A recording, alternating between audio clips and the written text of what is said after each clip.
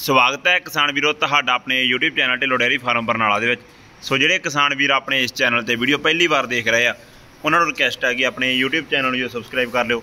ਸੋ ਕਿਸੇ ਵੀ ਵੀਰ ਨੇ ਇਦਾਂ ਦੀ ਐਡ ਕਰਵਾਉਣੀ ਹੋਵੇ ਤਾਂ ਮੇਰਾ ਮੋਬਾਈਲ ਨੰਬਰ ਹੈ 8427 19817 ਸੋ ਅੱਜ ਦੀ ਵੀਡੀਓ ਵਿੱਚ ਜਰਸੀ ਤਾਜੀ ਸੂਈ ਸਵਾਈ ਇਹ ਸੇਲ ਆ ਗਈ। ਪਿੰਡ ਧੌਲਾ, ਜ਼ਿਲ੍ਹਾ ਬਰਨਾਲਾ। ਸਚੈਨ ਵੀਰ ਦਾ ਨਾਮ ਆ 98785 85499 ਵੀਰ ਦਾ ਨੰਬਰ ਆ। ਵੀਰ ਆਪ ਘਰ ਹੈ ਨਹੀਂ ਸੀ। ਸੋ ਡਿਟੇਲ ਇਹਦੀ ਤੁਹਾਨੂੰ ਮੈਂ ਹੀ ਦੱਸੂਗਾ। ਦੂਸਰਾ ਸੂਆ, ਇਹ ਬੈਠ ਸੂਈ ਹੈਗੀ।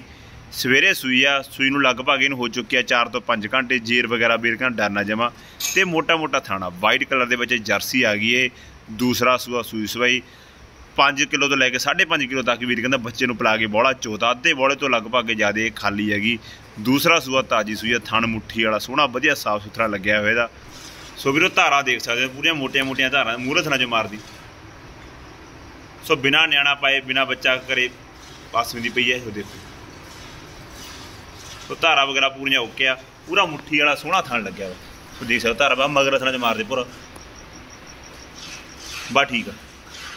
ਧੋਰ ਦੇ ਮੜੀ ਬਾਹਰ ਨੂੰ ਸੋ ਵੀਰੋ, ਦੂਸਰਾ ਸੂਆ, ਇਹ ਤਾਜੀ ਸੂਈ ਆ, ਬੱਚਾ ਨਾਲ ਆ, ਜਰਸੀ ਬਰੀਡ ਦੇ ਨੇ ਬੱਚਾ ਦਿੱਤਾ। ਤੇ ਮੂੰਹ ਮੱਥਾ ਚੰਗਾ, ਸਾਫ਼ ਸੁਥਰਾ ਵਾਈਟ ਕਲਰ ਦੇ ਵਿੱਚ ਜਰਸੀ ਹੈਗੀ।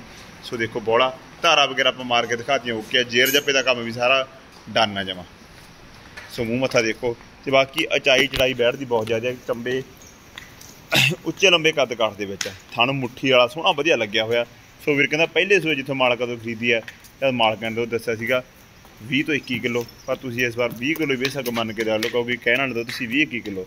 ਕਿਉਂਕਿ ਬਾਡੀ ਬੰਤਰ ਦੇਖ ਕੇ ਹਵਾਨਾ ਗੈਸ ਹੁੰਦਾ ਕਿ 20 ਕਿਲੋ ਦਾ ਦੁੱਧ ਆਰਾਮ ਨਾਲ ਦੇ ਦੂ ਪਲੱਸ ਵੀ ਦੇ ਸਕਦੇ ਪਰ ਬੇਸ਼ੱਕ 19 20 ਮੰਨ ਲਿਓ। ਇੰਨੇ ਕੁ ਦੁੱਧ ਦੇਣ ਦਾ ਦਾਮ ਇਹ ਰੱਖਦੀ ਆ, ਪਤਲੀ ਚਮੜੀ ਦੇ ਵਿੱਚ ਆ ਦੇਖੋ। ਪਸਲੀਆਂ ਵਗੈਰਾ ਬੈਠਦੀਆਂ ਦਿਖਾਈ ਦਿੰਦੀਆਂ ਪਈਆਂ, ਮੂੰਹ ਮੱਥੇ ਸੋਹਣੀ ਲੱਗਦੀ ਆ, ਸੂਈ ਸਵਾਈ ਆ ਜਮਾ। ਸੋ ਮੁੱਲ ਵੀਰ ਕਹਿੰਦਾ 62000 ਰੁਪਿਆ ਵਿੱਚੋਂ ਗਜੈਸ ਮੌਕੇ ਤੇ ਕਰ ਦੂਗਾ।